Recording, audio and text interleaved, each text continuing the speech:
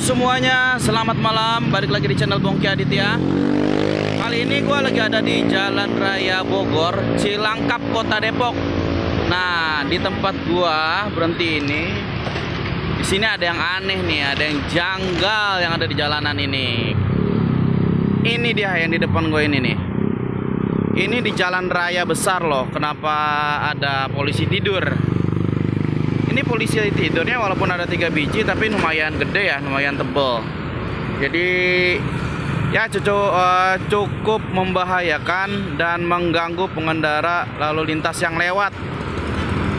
Ini tebel banget nih, gue zoom. Wuh, tuh orang, aduh, ini bahaya banget ini.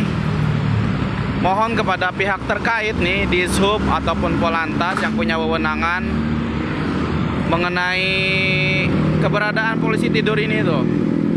Kalau bisa sih dibongkar ya, karena ini mengganggu dan bisa membahayakan pengendara yang lewat, baik motor ataupun mobil. Tuh, ini shock breaker bisa rusak. Tolong diperhatikan ini mengenai keselamatan kita-kita para pengendara yang lewat.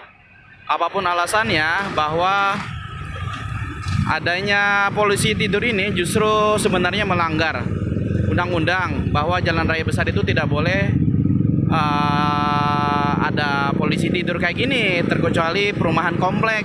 Ini jalanan besar ya. Ini jalanan besar provinsi apa nasional gitu ya. Jalan raya Jakarta eh, jalan raya Bogor di daerah Cilangkap kota Depok atau dekat daerah Cilodong. Dan ini juga sempat rame nih di grup info Depok Facebook. Banyak orang juga yang ngeluh nih pengen ngebongkar ini. Tapi sampai sekarang nggak ada yang bongkar-bongkar.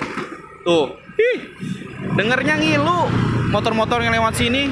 Bahkan gua ngelihat komen-komenan orang-orang yang lewat sini itu ada yang hampir jatuh oleng. Apalagi kasihan kan ibu hamil karena ini kaget banget ada kayak gini. Baru beberapa hari ini ada kayak gini. Tolong kepada pihak terkait. Tuh. Aduh tolong deh kalau bisa dibongkar ini tolong. Kalau bisa dibongkar.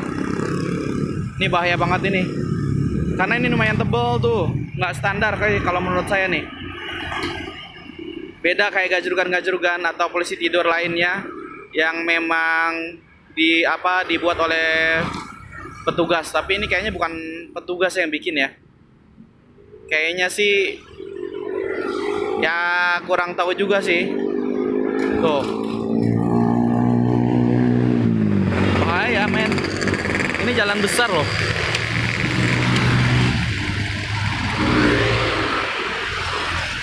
Ini kalau orang lagi kenceng lagi ngebut meleng.